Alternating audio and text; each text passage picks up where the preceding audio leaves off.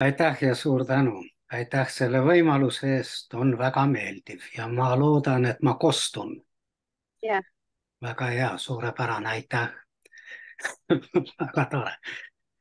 ammu pole olnud Zoomis õnneks, sellepärast et ma ei tea, kuidas teie, aga see temaatika, mis meil täna on ja mis paigutub kõige üldisemasse raami kultuur, see eeldaks ikkagi silmsidet. midagi pole parata. ja seega see periood, mille me kõik oleme teiega läbi teinud mida märgistab seesama Covid, kui loengud toimusid täpselt nii, nagu me suhtleme praegu teiega, siis ei olnud meeldiv. see ei olnud meeldiv, kuigi sa näed inimest ja sa näed tema silmi, aga midagi pole parata, humanitaaria eeldab lähedast suhtlust ja ta eeldab isegi ühte ruumi. vot see on jälle üks niisugune huvitav ja väike tähelepanek, väga sageli, kui mul on loengud, astub mõni inimene juurde ja küsib, kas ma võiksin teie juttu lindistada.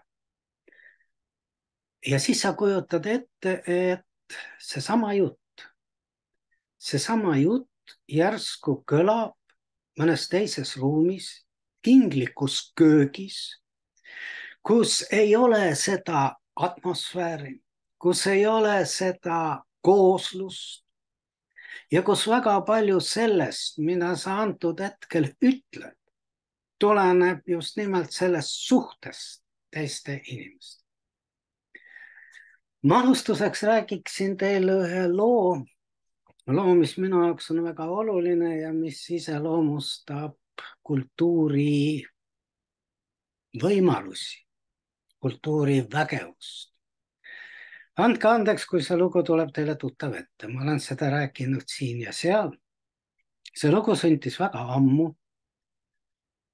ja on inspireeritud mingis mõttes minu ema poolt aga alguse sai see lugu tulenevalt sellest, et mulle helistas tolleaegne Eesti Kirjanike Liidu esimees Riivo Sinijärv, kes polnud mulle varem kunagi helistanud, aga keda ma tundsin päris hästi ja alustas oma juttu küsimusega, et kuidas sul läheb, kuidas on tervis ja kui inimesed alustavad enam-vähem nii, siis on ju selge, et nad midagi tahavad.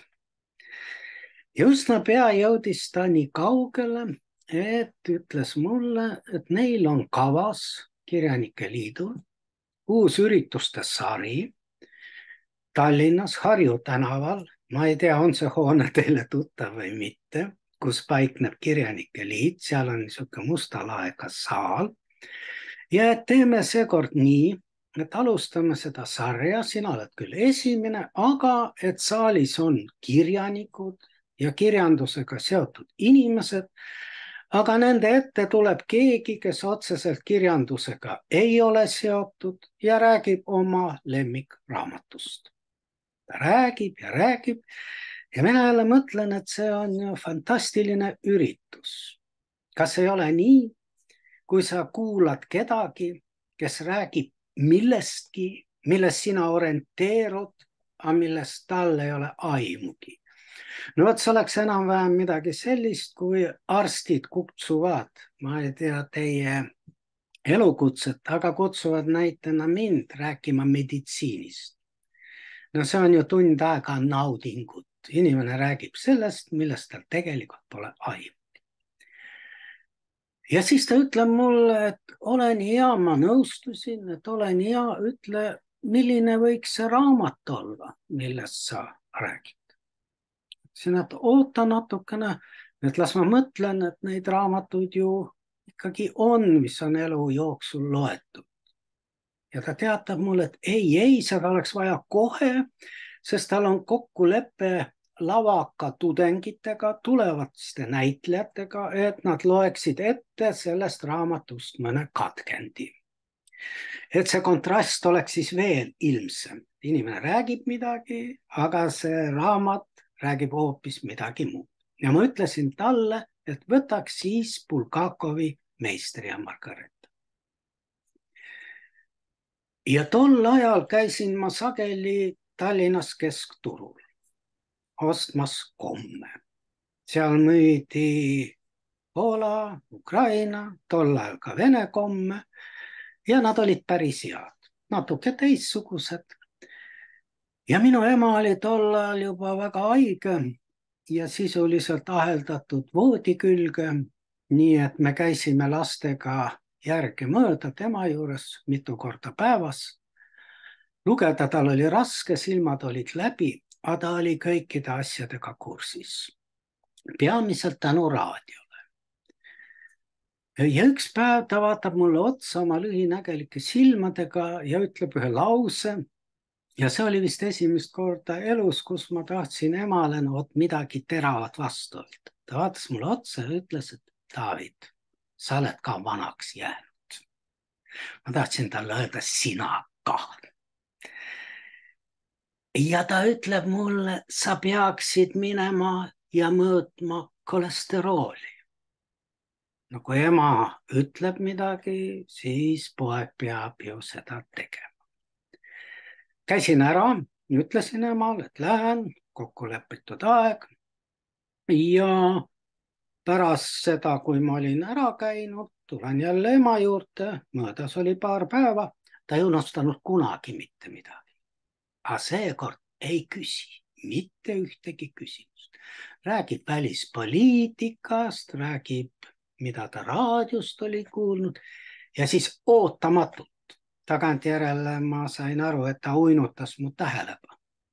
ta küsis minu käest, mis see number siis ka oli, pidades silmas seda kolesterooli näitajat ja ma ütlesin talle ühe numbri. Mille peale ema teatas, et seda on palju, palju. ja teades minu magusa lembelisust, ta lihtsalt minul pigistas välja lubaduse emalikult. sa oled ju intelligentne inimene. kas sa ei saa ennast kokku võtta? kas sa ei saa piirduda õhtul vaid ühe kommiga? ja ma lubasin. Ja ma ei oska teile kirjeldada oma rõõmu, kui ma avastasin Tallinna keskturul vot sellised kommid. kolmsada kolmkümmend grammi tükk, vot sellised. õhtul ema helistab üks komm, no ma ju lubasin, et üks komm, lubasin.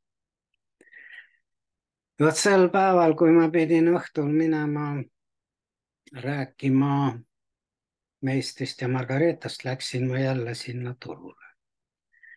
Ja minust möödus kaks inimest. ma poleks neile pööranud mingit tähelepanu, kui poleks järgnenud nüüd seda lugu, mida ma teile jutustan. ja läksin siis sinna leti juurde kus neid komme tavaliselt müüdi. mul on tavaliselt reeglina on just hästi suur kott, hakkasin seda sinna paigutama, sinna alusele ja kuidas see kott ei mahu nagu ära. ja vaatan sinna alla ja uskuge mind või mitte, tol korral, kes on lugenud Bulgakovit, lösutas seal niisugune must kass, Bulgakovi kass. ja vot siis jäid minu kõrval seisma need kaks inimest. ma millegipärast arvan, et nad olid välismaalased, tagantjärele mõeldes. ja meie pilgud kohtusid, tundmatud inimesed. ja polnud mingit kahtlust, et nende jaoks oli see ka Bulgakovi kass. väikene tühine lugu leidis aset, no nüüd võib-olla kakskümmend aastat tagasi. ja ta tuli mul praegu meelde mul ei olnud mingisugust kavatsust teile seda lugu jutustada, aga ta lihtsalt tuli meelde. vot see on kultuur, milleks ta on võimeline, milliseid emotsioone ta võib anda. Aga selleks peame me olema kõik selles ühes kultuuriruumis. mina tänapäeval olen sunnitud ka tudengitega tegema. ja mis oli minu ajal pluss, pigem miinus ja samas jälle pluss. meie kultuuriruum, meie kättesaadavus, ütleme nii, oli ju ahtakene. ma ei tea, milliste kõrgkoolidega teie olete seotud, aga kui meie Tallinnast, meie kursusel oli valdavalt enamus tallinlasi, pole oluline, Põhja-Eestis, kus oli nähtav Soome televisioon. ja kui öösel kuskil hilja õhtutundidel näidati Bergmani filmi, siis me olime kõik selle filmi. Kui ilmus mõni hea loomingu raamatukogu, siis me olime kõik lugenud tänasel päeval on seda lõpmatult palju. kõik see on killustatud ja näiteks minul on tudengitega kokkulepe, et kui keegi midagi huvitavat näeb, kui keegi on midagi lugenud ja isegi need emotsioonid ei pea alati olema positiivsed, need võivad olla ka negatiivsed. Hoiame üksteist kursis, jagame seda informatsiooni, sellepärast et see lihtsalt on hoomamatu. jah, tõesti, kuuekümnendate lõpus, kui mina olin tudeng, oli täiesti jõukohane vaadata ära kõik esietendused. no üksikuid jäid vahele. tänapäeval ei tule see kõne allagi. nii et selles mõttes kultuur ja kõik see on killustatud rohkem.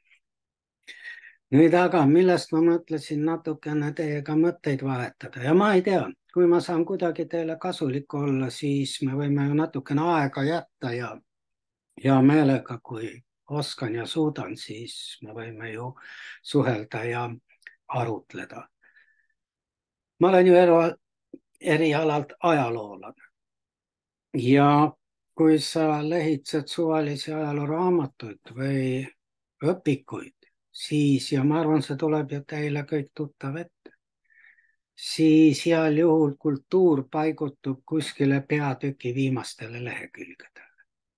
poliitilised sündmused, meil on valitsejad, meil on kõikvõimalikud sõjad ja siis tuleb pool lehekülge tavaliselt loetelu, kes olid tol ajal elanud kultuuritegelased, heal juhul ühe lausega, mida nad olid teinud. vot minu meelest isegi valdkondades, kus esmapilgul kultuuriga selle sõna kõige laiemas tähenduses pole mitte mingisugust seost, on see määrav. ma toon teile ühe näite näite, mis on pannud mind mõtlema sündmusele, mis leidis aset ammu-ammu, tuleb teile kindlasti tuttav ette. Geniaalne väepealik Hannibal ja tema sõjad roomlastega, tavaliselt üks lahing, kuulus lahing, mida võiks isegi nimetada kõige kuulsamaks lahinguks, sellepärast et kui me lehitseme teiega hilisemaid mälestuste raamatuid, kasvõi teisest maailmasõjast, siis võime sageli lugeda, et sakslased korraldasid venelastele teised kannid. Venelased korraldasid sakslastele teised kann, kannilahing kakssada kuusteist enne Kristust. mis seal siis toimub, mis seal toimub? siin on kes viitsib mind vaadata. siin on, ütleme, roomlased ja siin on Hannibal ja mida ta siis teeb? ma lihtsustan. ta taganeb kõigepealt, taganeb, roomlased tulevad peale ja siis ta piirab nad ümber ja purustab. ja selle lahingu kohta käivad epiteedid, geniaalne enneolema. ja siis sa hakkad mõtlema, et kuidas siis nii, kuidas siis nii. ja ma ei tea, kuidas teie, aga ma ei ole ammu midagi taolist teinud, aga aastaid tagasi. Kas ei ole nii, et talvel sa oled ju kuidagi rohkem isoleeritud teistest inimestest, väljas on külm, istud kodus, kammina ees, jood veini ja unustad ära, milline see inimene on. ja siis aastaid tagasi, alati kui ilmad soojenesid, saabus kevad, ma läksin ja istusin mõne lasteaia juurde, et vaadata, mida need lapsed siis teevad. Need väikesed inimesed, kuidas nad omavahel suhestuvad. ja tõesti, väike titt teab, kui tekib mingisugune kemplus, et kallale tuleb minna selja taga. ja nüüd me mõtleme, et rohkem kui kaks tuhat aastat tagasi Hannibal, mitte keegi ei teadnud midagi geniaalset sõjakunsti valdkonnas. aga minu meelest see seletub mitte sellega ja mitte selle valdkonna, vaid nii ei tehtud, nii ei tehtud, nii ei käitutud. mees läks mehe vastu, aga mitte tagurpidi. aga mis see on, kui nii ei tehtud, kui nii ei käitutud? see on kultuurivaldkond. Need on teise valdkonna otsused või neid on tinginud midagi. see on üleastumine millestki, aga mitte nüüd millegi saavutamine sellesama sõjakunsti raames. tuletage meelde, hiljutine näide. ameeriklased lahkuvad Afganistanist, kohale jääb kolmsada tuhat kaasaegselt relvastatud meest ja nad jooksevad laiali. mis see siis on? Mis on? Nad oskasid ju lasta. Neil olid relvad. tähendab see otsus, need sünnivad peas. ja see on kõik ikkagi valdavalt kultuuri valdkond. nüüd veel üks näide kui me mõtleme Eesti ajaloole ja räägime Eesti riigi sünnist ja räägime väga põhjalikult sellest, mis seondub Vabadussõjaga. kui me nüüd hakkame mõtlema jällegi nendele inimestele, keda me nimedena kohtame, kui me neid sündmusi kirjeldame siis seal on ju valdavalt arstid, advokaadid, kirjanikud ja nii edasi ja nii edasi ja nii edasi, nii edasi. tähendab, need on inimesed, kes on kokku puutunud kultuuriga. iseseisvuse idee saab sündida ainult peas, kes mõistab, mida see iseseisvus üldse tähendab ja kui ei oleks olnud tinglikult, ma ei tea, kas nii on kombeks nimetada või mitte, kui ei oleks olnud eelmise sajandi seal kuuekümnend, seitsmekümnend, kaheksakümnendatel aastatel tinglikult kultuurirevolutsiooni. kui oleks olnud seda pürgimust kultuuri järele, hariduse järele, poleks olnud mitte kedagi, mitte kedagi neist, kelle peas hiljem sündis see idee ja kes suutsid selle idee ka ellu viia.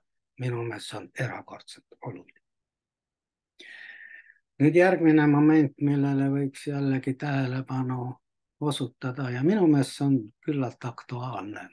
aktuaalne, mis puudutab arenguid Eestis ja mitte ainult, aga eriti väikerahvaid ja väikseid kultuure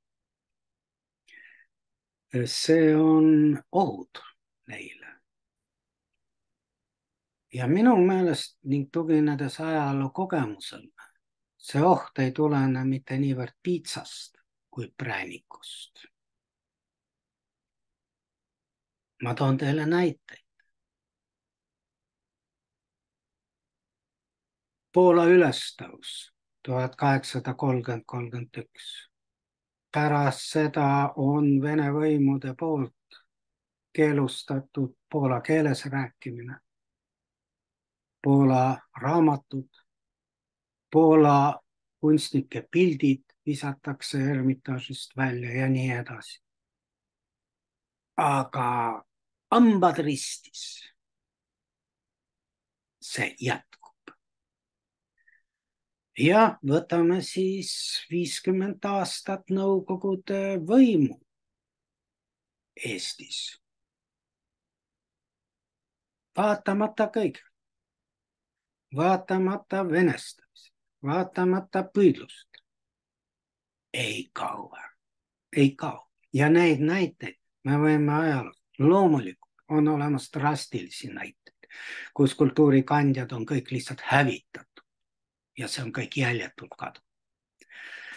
aga on ka mõned näited ja vägevatest võimsatest rahvastest minevikust, kes on pigem kadunud mitte seetõttu, et neid on ähvardanud piits, vaid seetõttu, et neile on pakutud präänikut.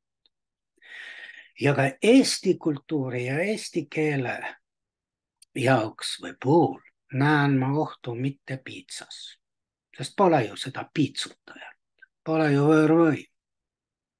aga präänikuid ripub meie kohal väga palju, kõikvõimalik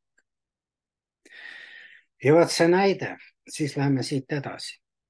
see näide ja tuleb kindlasti teile meelde, ma ei tea, palju teist on ajalooga otseselt seotud, aga kunagise või hilisem suurvõimu Rooma eelkäija seal alal elas rahvas, keda kutsutakse etruskid, võimas väge, hiilgava ajaloo. mingi periood ajaloos oligi kolm suurt, Kreeka, Kartaago, Etruskid. ja kahe inimpõlvega, no sisuliselt kadunud, jäljetult kadunud. miks siis nii, kas sai see võimalik? jättes kõik detailid, üksikasjad kõrvale. vot see on nüüd aeg, see on aeg, kui Rooma kasvab Rooma on muutumas maailma valitsejaks. roomlane on olla hea, uhke, võimas. ja nad on valiku ees, kas nad klammerduvad oma mineviku külge, jäävad etruskiteks või nad loobuvad oma minevikust. veel kord, seal ei toimunud koosolek seal polnud hääletamist või ja neile pakutakse, saage roomlasteks, saage Rooma kodanik. ja kogu ajalugu meile ütleb, et nad teevad selle valiku. ja kahe inimpõlvega sisuliselt on nad kadunud, kadunud jäljed. jah Need suured nimed, midagi kuskil siin, keegi ja nii edasi, kadunud ja tänasel päeval me isegi nende kirja ei loe. jäljetult. Pränik oli oma töö teinud. ja nüüd mõtleme kõigele sellele, mida me teiega näeme ka Eesti kõrgkoolides näitena. ja esmapilgul see ju kõik on kuidagi arusaadav ja seletatav no võtame doktoritööd. kitsad valdkonnad. reeglina, kui me võtame keskmise doktoritöö, siis Eestis, eesti keeles selle lugejaid, no ma ei tea, heal juhul kahe käe sõrmedes. aga kes siis tahab teha meist tööd, mille vilju praktiliselt keegi maitsta ei saa? Loomulik, ingliskeelse, loomulik. aga mõtiskleme siis edasi, kui selle doktoritöö üheks peatükiks või mingisuguseks osaks on eelnev magistritöö, siis mis mõtet on seda kirjutada eesti keeles? mitte mingisugust. ja läheme siis allapoole ja siis me jõuamegi nii kaugele, et jah, sellel on objektiivne seletus, aga tulemus saab olema ilmselt see, see on see bränding. Ingliskeelses variandis on meil neid lugejaid. kuigi see on muidugi tegelikult väga küsitav, kas see on, aga see on lohutus meil, see on see bränding ma kirjutan selle töö inglise keelt, järsku keegi seda loeb, no ei loe ja kui see töö on seda väärt, siis see lastakse tõlkida või kasutatakse Google Translate'it ja tõlgitakse ja loetakse. see ei määra. aga me ju tegeleme lakkamatult enesepettusega. aga mis on selle tulemus? see tulemus võib olla, et me kaotame selle eestikeelse sõnavara, selle eestikeelse keeleruumi, mis puudutab väga paljusid valdkondi, valdkondi, kus inimesed mõtlevad. see on väga oluline, nii et seda tuleb kindlasti silmas pidada. nüüd veel üks väga oluline moment, mida tuleb silmas ka pidada. see on et võib-olla jällegi see on nagu ajaloo mingi kogemus. ja võib-olla see tuleneb ka sellest, et ma enamus oma õppetöö ajast olen olnud seotud Kunstiakadeemiaga.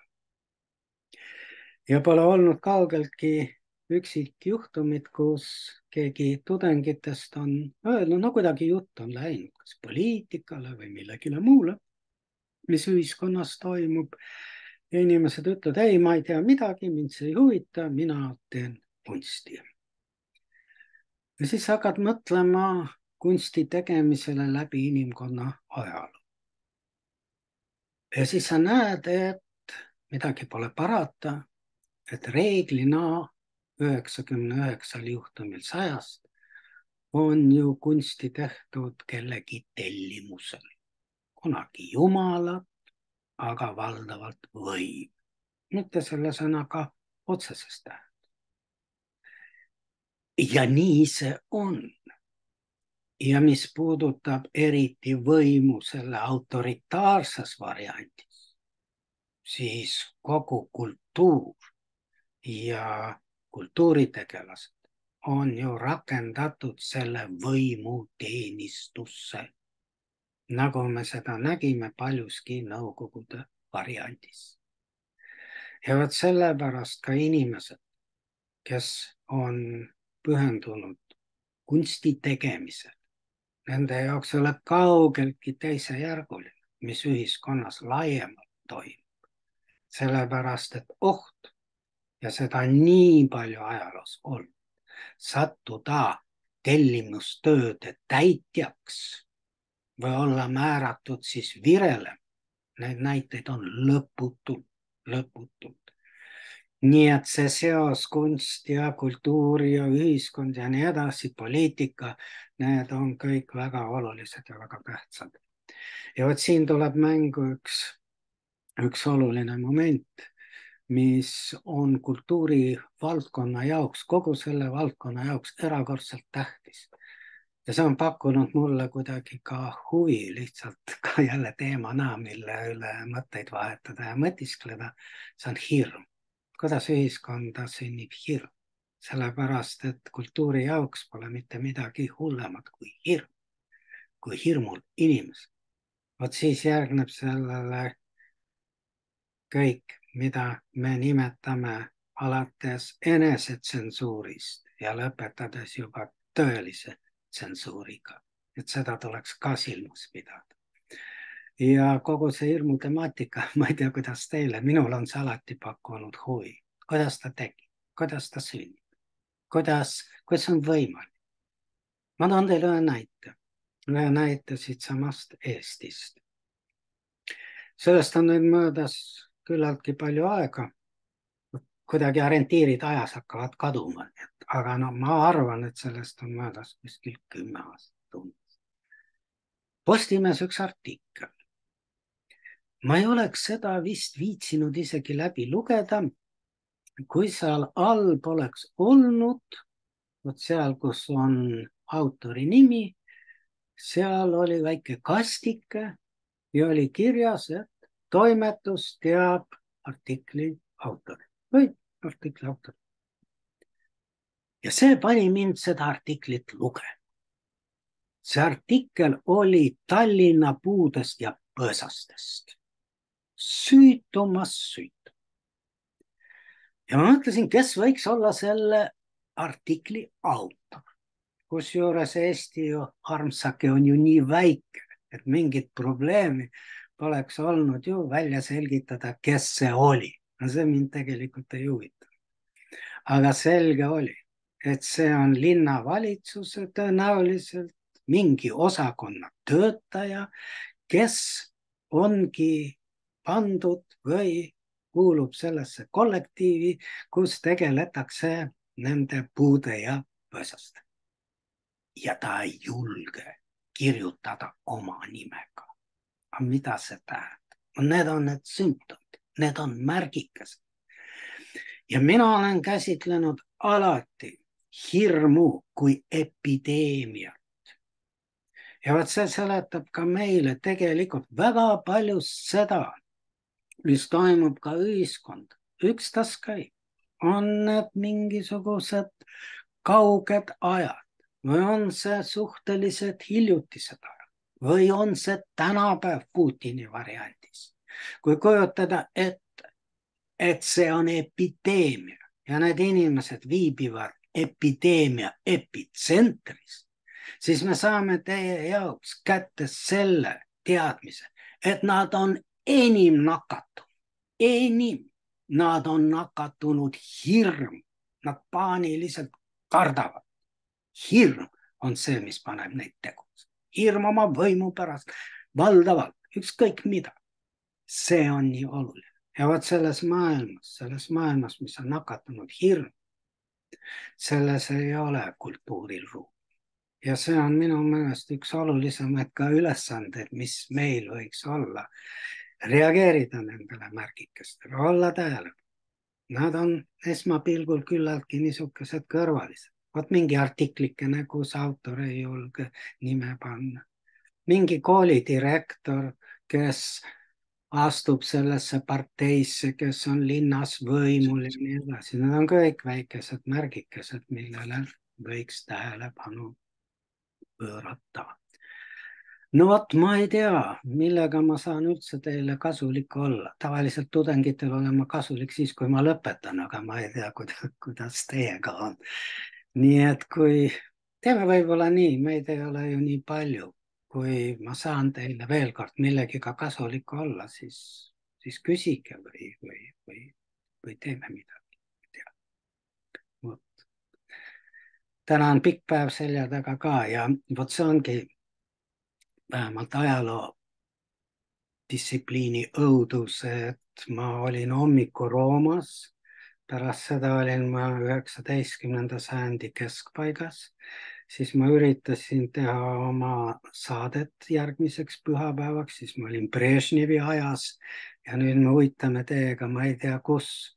ja vahetevahel on mul selline tunne, kui ma pärast Roomat lähen Tallinna tänavatele ja tramm sõidab vastu, siis tekib mingi niisugune õudne tunne, sa ei saa aru, kes see on ja, ja kust ta tuleb ja no, nii et andke andeks, ma olen täna natukene segamini omadega, aga veel kord, palun, kui, kui saan teile kuidagi, kuidagi kasulik. no ma toon teile võib-olla ühe niisuguse näite, mis puudutab, puudutab jällegi minu, minu meelest sedasama kultuuri asja kui on palutud, no viimasel ajal võib-olla pole see nii aktuaalne, aga ma olen alati püüdnud minna, kui on kutsunud vene koolide ajalooõpetajad rääkima. väga sümpaatsed inimesed, väga sümpaatsed inimesed ja noh, teevad seda, mida neile öeldakse, et nad võiksid teha. aga pikapeale ju tekib mingi kogemus sa räägid, sa vaatad inimeste silma, vot miks see suhtlus läbi Zoomi pole mugav ja sa saad aru, mis seal enam-vähem toimub. ja nüüd kujutage ette, kujutage ette õpetajat, inimest, kes on harjunud õpilastele rääkima vene ajaloost, aga see võib olla vabalt Prantsuse ajalugu või Inglismaa ajalugu ja siis ta hakkab rääkima eesti ajaloost. millest ta enne rääkis? võtame näitena nüüd selle minu vene aja. millest ta enne rääkis lastele? ta rääkis enne lastele Borodino lahingust ja Stalingradi lahingust, on ju nii? jah. millest ta nüüd lastele räägib? Võnnu lahingust ja Ümera lahingust. no kuulge, heas vene pulmas saab ka inimesi rohkem otsa kui mõnes meie lahingus ja. aga võtke kultuur, võtke kultuur. kas siis Eesti luuletaja ja tema luule on vähem väärtuslik kui mõne vene autori luule? no ei ole, ta on võrreldav, kultuurid on alati võrreldav. lahingud ei ole võrreldav. seal on mõõdikud väga kindlad, siin neid pole olemas, pole olemas. aga ikka jällegi ka meie õpikutes. meil oli ju ka ideaalne variant omal ajal kuidagi need aktsendid natukene ringi tõsta, ei ole, jah ja ka lahingute ja sõdade puhul. Te saate minust õieti teada, palju on meil neid inimesi, keda me võime paigutada vot sinna kategooriasse, kes on andnud kellelegi tükikese leiba ja päästnud ta elu. no ei ole. aga see ei ole kangelastegu. riskides võib-olla ka oma eluga. Kas kangelasteod saavad ka sõja ajal toimuda ainult püss käes? no ei ole, ei ole nii et need on momendid minu meelest, millele tasub tähelepanu pöörata ja ka õpetades tuua välja vot neid aspekte. rõhutada seda, mida võib-olla ei ole nagu kombeks rõhutada. et määrav ja oluline on sama inimlik, ükskõik mis olukord. Schindleri nimekiri. Valikuid on ju vähe. Need Gulagi kirjeldused kus sa möödud vangivalvurist ja üks virutab jalaga, teine ei tee seda kunagi. tal ei olegi muid valikuid, tal ei ole. tema ainus vabadus või inimlikkus seisneb selles, ta võib olla sinna sattunud, et ta ei viruta. väike asi, aga selle jaoks, kes pihta saab, toob ja nii edasi. nii et vot need on niisugused momendid, millele ma ei tea võiks ju kuidagi mõelda vähemalt. vot ütlesin, et hea meelega võiks, võiks küsimusi kuulata, aga hakkasin ise rääkima, see on kaval nipp, et küsimusi ei tuleks. aga Sirle, küsi. ja, ja palun, palun ja mind väga kõnetas just see ajaloo ja kirjanduse omavaheline kokkupuutepunkt Ehm, me oleme nüüd korraldanud mitu aastat eh, Noorte Rahvaülikooli suvel ja, ja sellel aastal me panime noored lugema August eh, Mälgu raamatut Läänemere isandad mm. -hmm. ja see oli väga huvitav kuulda, et enamus nendest noortest, kes on siis Rootsis sündinud eh, vanuses kakskümmend, kakskümmend üks Nad ei olnud isegi kuulnud seda eh, pärimust, et eestlased käisid Sigtunat eh, vallutamas või rüüstamas või isegi maha põletasid selle kõik. ja see, see oli iseenesest väga-väga huvitav kogemus, et ähm, kui noored lugesid seda raamatut, me olime jaganud selle raamatu just äh, niimoodi tükkideks ja mhm. siis nad lugesid gruppide kaupa seda ja pärast siis tegime kirjandusõhtu ja nad äh, siis esitasid äh, igaüks omal moel siis kokkuvõtte sellest, mida nad olid lugenud. ja kui me pärast analüüsisime, siis just see noortel on väga raske see, et sealt raamaturiiulist võtta üks igav ajalooline vana raamat Eh, aga kui neid niimoodi aktsiooni korras lugema panna ja nad saavad üheskoos seda mõtestada, mida nad siis lugesid ja just sellise ajaloolise teadmise sealt eh, ka veel nagu peale kauba lisaks kõikidele emotsioonidele, siis nad olid väga tänulikud. Ja muidugi nüüd me ootame pikisilmi, et kas Ilmar Raagilt tuleb see film selles valdkonnas ka, mis omakorda aitab nagu noori kõnetada et see Bulgakovi kassi näide oli väga kõnekas teate, see on nii huvitav, see on nii huvitav. kaks väikest niisugust või kolm väikest lookest. no esiteks, mul ei ole kunagi olnud nii raske kui vist kaks aastat tagasi, kui mind paluti, et ma loeks tudengitele, mul on valdavalt kunstiajaloolased viimased aastad, et ma võtaks enesele ka kahekümnenda sajandi teise poole. No ütleme tinglikult ajast pärast Stalini surma ja nii edasi. ja ma olen kimbatuses, sest see on minu jaoks olevik. Nende jaoks on ta sama kauge minevik nagu seitsmeteistkümnes sajand või kaheksateistkümnes ma ei jõua teile nimetada neid tegelasi, kelle puhul ma isegi ei tule selle peale, et hakata rääkima, kes nad on. Sest me kõik teame, kes nad. Nad ei ole kuulnud, ei ole kuulnud. nüüd mul just täna see või paar päeva tagasi ikka, jah, päevad lähevad segamini. esimene maailmasõda. ma mainin Šveiki no oli millegipärast järsku taipan ja küsin, see nimi ütleb teile, kas see teos on teile tuttav, mitte keegi pole lugenud. Ma olen käinud ühes koolis, kus ma olin hädas ja ma ei teadnud, mida ma teen, mind paluti rääkida absolutismist, see on see aeg enne Prantsuse revolutsiooni ja nii edasi. mõtlesin, ma olen pääsenud ma ju hakkan rääkima minu põlvkonna, kui ma olin teismeline, nagu need lapsed, lemmikraamatust, kolm musket vaatan sinna, tegin veel sissejuhatuse, et see ei ole oluline raamat, ei pea lugema. andke käega märku, kes on lugenud, üksikud käed. Uskuge, minu põlvkonnas pole ühtegi inimest. ja küsimus pole ju selles, et meie midagi tegime, lugesime ja nemad ei loe, ei tee kui nemad küsivad minu käest, ma arvan teie käest samuti, mõnda ansamblit, kas te olete kuulnud? iialgi ma olen nende jaoks sama metsinimene nagu nemad minu jaoks. Need on need põlvkondlikud vahed. Kui Jüri Üdi, Juhan Viiding kirjutab vahast, millega pooniti parketti Nõukogude siis see lõhn on minu jaoks olemas.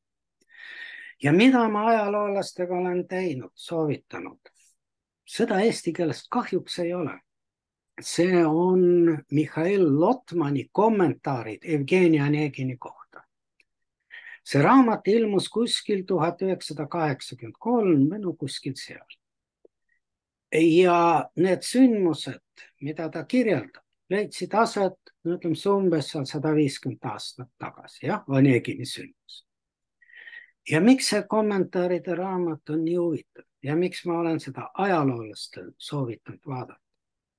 ei ole Oneginas peaaegu ühtegi lõiku, mis ei nõuaks Lotmani poolt kommentaar, mida see tol ajal tähendas. mida see tähendas, et tal oli valge lipp? mida ta sellega ütles? mis märk see on? see on paratamatu, see on paratamatu ja vot sellega me peame kogu aeg arvestama, kui me nooremate inimestega suhtleme, et väga palju see märgisüsteem erinev, erinev, erinev, mis puudutab lugemust, mis puudutab filmide nägemist ja nii edasi, nii edasi, nii edasi, nii edasi. see on nii, see on nii. aga kui sa nendega sinna lähed, väga õige, siis võib olla erakordselt huvitav ja põnev. jah ja.. nii et nii see on, jah. nii see on, seda tuleb arvestada muidu võib oma pedagoogikas sellega tohutult alt minna, no nagu mina tol korral läksin suure saali ees. no nüüd lähme sinna kolme musketäri maailma. keegi kuskile minuga ei tulnud, see maailm oli nende jaoks olematu. nii et seda tuleb arvestada jah. ja kui te veel olete mõnes teises riigis ja need lapsed on üles kasvanud teises kultuuriruumis, siis seda enam. Need märgid võivad olla väga erinevad, väga erinevad kui minu ajal tuli tänaval vastu kiilaspäine noormees, siis oli ju tõenäosusega üheksakümmend protsenti, et oli viisteist päeva saanud. aga tänasel päeval on see ju hoopis teine märk. no minusugused ei tule arvesse, see on juba vanadus no, palun, meil on natuke veel aega, kui keegi midagi tahab. ja ma näen, et Liisil on käsi püsti. Lihtsalt kontrollin, et kas te kuulete mind? ja väga hästi kuulen. ahah, väga hea, et mõtled telefonist ähm,. mina olen Korki äh, Eesti koolis siis Iirimaalt ja ma arvan, et siin me saame väga hästi aru sellest, kui tähtis keel on ja see kultuuriline tunnetus ja enese, rahva enesetunnetus, see tuleb nii paljuski keelest. Äh, minu tütar näiteks siin on iirikeelses koolis, mis on suht erakordne, sest enamus inimesi ju räägivad inglise keeles ja õpivad inglise keeles. ja kõik on nii sujuvalt üle läinud, et äh, see protsent iirlasi, kes räägivad iiri keeles, on väga väike. ja ma arvan, et selle taga on ka pigem präänik kui piits jah, täpselt, ma just tahtsin öelda, et see oli mm. nii palju tuttavat, kuulsin ma seal nii palju tuttavat, et. no ma olen no, kolleegid, millega ma teid ikka üllatada saan, jah et seal oli nagu, ma nagu tundsin selle ära, aga samas on selle nii tähtis, et me ei süüdista keeli. aga me hindame seda rikkust, mis sealt tuleb ja nagu noh, Eesti väikese tüdruku emana ja Eesti, Eesti koolis tegeva inimesena ma nagu üritan ikkagi me kõik üritame, et nad õpiksid oma, äh, oma emakeele ära või meie emakeele. Nende jaoks võib-olla on emakeel juba midagi muud mm. -hmm aga et nad ikkagi saaksid sellest aru, sest see kultuur, suurt osa kultuurist tuleb keelega ja näiteks isegi kui sa õpid keele ära või noh, ütleme niimoodi, et saad millestki aru, kui palju sa tegelikult kultuurist ikka aru saad, kui sa ei saa keelest aru. sulle tõlkides saad midagi aru, aga see nagu sügavus kaob või seda, seda tunnetust siis ei ole. et see on väga tähtis ja see hirm ma arvan, et meil kõigil on natukene seda hirmu, et mis saab, kui me liiga kergesti laseme lahti ja eks võib-olla sellepärast me olemegi kõik siin koos ja üritame igaüks oma maailma nurgas seda asja ajada. et ähm, see on jah, see on nagu, see on, see on meile väga tähtis ja ma arvan, et see kõnetas meid kõiki täna. aitäh. jah, keel on väga tähtis ja, ja ka ruum on väga tähtis, sellepärast et keel ilma ruumita või kogemuseta mida see ruum võib anda. ma olen mõelnud näiteks triviaalsele lausele, mis minu jaoks on nii oluline. Ja kui ma olen nüüd ütleme tõlkija, ma olen õppinud eesti keele ära, aga no tinglikult, see on tänapäeval peaaegu välistatud, aga ma pole kordagi Eestis käinud või ma isegi ütlen, et ma pole ühes kohas käinud. Ja kui see lause on käsmumännid vot minu jaoks on see midagi väga konkreetset, vot see on seesama näide seesama poonitud põrand on Juhan Viidingu ühes luuletuses, panen mesilase vaha ja mis tal seal oli. või no jällegi kuskil, ma ei mäleta, kellel see oli, see oli mingi vene autor. Nõukogude aegse, no te olete ka nooremad inimesed osaliselt kõik, aga Nõukogude aegse söökla lõhn et kui kirjandusteos viib siin, vot see on paratamatus, see on ajalooga paratamatus, me ei saa sinna minna. no nõukogudeaegsesse sööklasse mina võin veel mõttes minna, aga eelmisesse või üle-eelmisesse sajandisse see juba ei lähe. et see ongi nagu minu missioon, mul on just tunne, ma võib-olla lihtsalt no räägin vale juttu, aga kui ma tudengitele räägin antiigist, siis ma püüan või vähemalt läbi tunnetada või mul on niisugune tunne, et see on see oluline, see, see keskkond. et see Eesti, jah, ta on keel, aga ta on ka midagi enamat. ta on mingid kohad ka ilma inimesteta, veel kord, needsamad käsmumännid või mingi soo, et see on ka väga oluline. ma arvan, et ka nende laste puhul, kes kes olude või tahte ükskõik mis tõttu on välismaal, et neile see Eestis käik ja, ja see kokkupuude, et see, see on, see on nii oluline. vot jätta kedagi pooleks tunniks üksi sinna mändide keskele. tulemus võib olla muidugi ka negatiivne, aga ta alati ei pea, aga kui ta on positiivne, siis ta on jäädavalt positiivne. midagi selles on kust see kõik tuleb, ma ei tea. Ellen, ma näen, et tahad midagi küsida. Ellen. ja ma võtsin ennast mute'i pealt äh, maha äh,. tere, tere, me kohtusime ja. kunagi väga-väga-väga ammu äh, Estoksi filmifestivali käigus, me istusime kohvikus kunagi, nii et väga kena on jälle silmitsi sattuda. tänan, see on äh,, see on mind väga mõtlema pannud ja Sirle ka sinu kommentaar selle raamatu lugemisest ja ka mis asi on see pagulasjäreltulija, see, kes juba kolmandat põlve elab väljaspool Eestit, tal ei ole seda vanaema, kuhu teda saadetakse suviti, tal ei ole keel suus. aga ometi peaks seda, seda keelt ja seda kogemust, aga ka seda pagulasläbielamust. ma olen tahtsin soovitada teistele õpetajatele, ma ei ole veel päris lõpuni lugenud, aga ma tahtsin äh, teie arvamusi, ma olen hakanud lugema üks raamat, Jaak Treimann, kes on läänerannikul äh, aukonsul olnud väga pikki aastaid, mitu aastakümnendikku, ta kirjutas nüüd inglise keelde ka tõlgituna äh, tema, tema pagulasmälestusi ja ta väga huvitav kontekst on selles mõttes, et ta tugineb oma vanemate mälestustele, mis on kirja pandud. ta siis äh, räägib sellest geopolitical, geopoliitilises kontekstis. ja siis kolmas osa iga peatüki kohta lükkab ta ümber, kus vaja oma vanavanema, oma vanemate mälestusi, näiteks, et pole võimalik, et nad iga päev käisid kolmkümmend kilomeetrit kohast A kohast B-ni, et neil on nagu mingi vale. tähendab, et see on, et Sirle, kui sa räägid sellest nagu, et kuidas ja, ja, ja teie härra Vassevjev ka, kuidas läbi põlvkondade, kuidas seda mälu no niimoodi edasi kanda, et, et see jääks läbi põlvede, et see on huvitav näidis ähm,. tähendab mitu põlvkonda tagasi, pluss siis, mis tol hetkel maailmas toimus ja siis ta enda mälestused lapseeas. et ma ei tea, et kas teil on teisi näiteid ka, mis on nagu kellelgi võib-olla siin või siin Zoomi kõnel et ka sellist lugu, mis nagu aitab mitu põlvkonda kokku siduda, et seda mälu elus hoida. kas on mõnda teist sellist raamatut, mis pakuks noortele huvi? see on väga loetav. Eesti keeles ma ei ole seda lugenud, ma läksin kergema vastupanu teed ja lugesin inglise keeles. mina ei ole kahjuks jah seda lugenud, vaatan kindlasti. ma arvan, neid teoseid ja viimasel ajal ju ilmunud mälestusi, ma ei tea, palju neid on, mis puudutavad konkreetselt Eestit tõlgitud inglise keelde, aga neid on ju päris palju, päris palju. aga just see, just see struktuur, et ja, ja, äh, mis ja. ühe mälu oli ja siis, mis tegelikult toimus maailmas ja need mõjud, miks need asjad toimusid, mis võib-olla kusagil Eestis külas ja. nagu ei, ei. selle mäluga on, ma räägin teile ühe kummalise loo. ma olin, minu õde on Ameerikas kaheksakümnendast aastast ja ma sain, kui need olud juba hakkasid muutuma.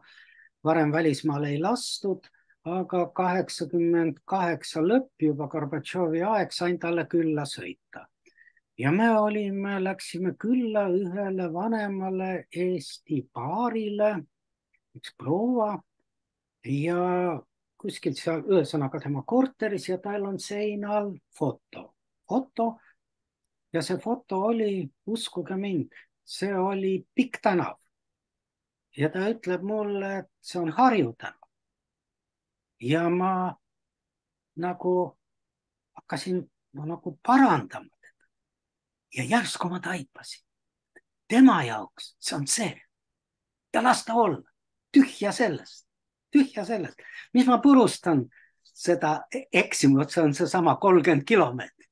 no mis siis, mis siis, mis siis, ta mäletab nii nende mälestustega on nagu, nagu on jah, jah